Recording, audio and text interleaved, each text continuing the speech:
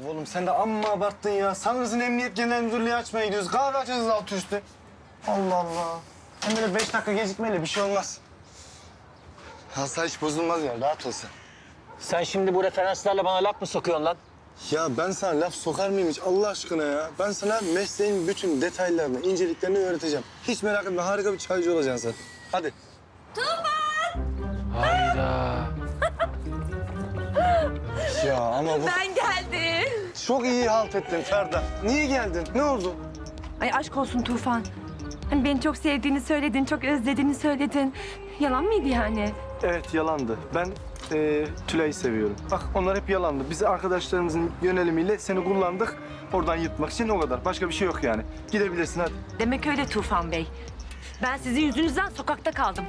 Bana sahip çıkacaksın yoksa karışmam. Allah Allah niye bizim yüzümüzdenmiş ya? Bizle ne alakası var ya Ferda Hanım yani? Sen de ipini sağlam kazığa bağlasaydın. Çürük kazığa bağlamışsın. Ay çürük mürüktü ama benim işimi görüyordu yani.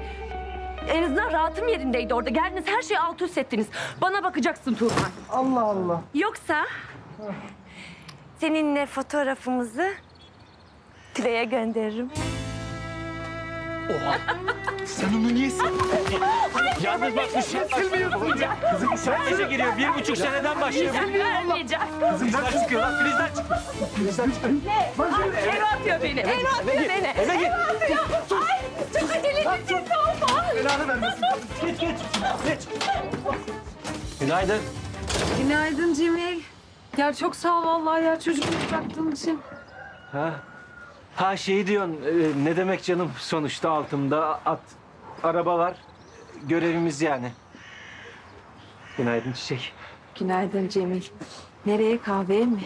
Kahveye kahveye bugün başlıyoruz işte eğitimlere. İlk ders çay demle. Evet tamam o zaman siz gidin şimdi ben size yetişirim kucak tamam mı? Tamam canım hadi. Tamam benim bir tanem hadi bakalım. Kolay gelsin. Hadi. Ne oluyor lan? Oğlum Ferda geldi Ferda. Ferda geldi. Ferda burada lan. Yapma. Bana bakacağım. Yapma. İçeride mi şu anda?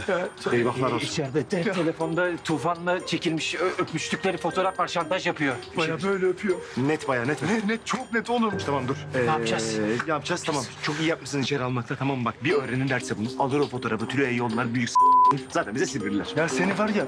Oğlum neyi s- lan? Sizin yüzünüzden geldi başıma ne geldiyse benim. Pardon ya. Düşün bir şey düşün çabuk. Ne yapacağız? Tamam lan dur. Bir dakika dur. Ee, şey yapalım.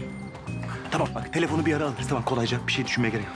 Telefonu gizlice alırız. Sileriz fotoğrafları sonra yollarsın gider bir şey olur. Çok basit bir şey bu. Tamam. öyle Harika yaparız. plan. Ama benim şimdi gitmem gerekiyor. Ya. Düşünürüz. Sakın evden çıkmasın dikkat et. Bak haberleri olmaması lazım. Bu çok önemli. Ya ne kadar yardımcı ol. Ne yapacağız?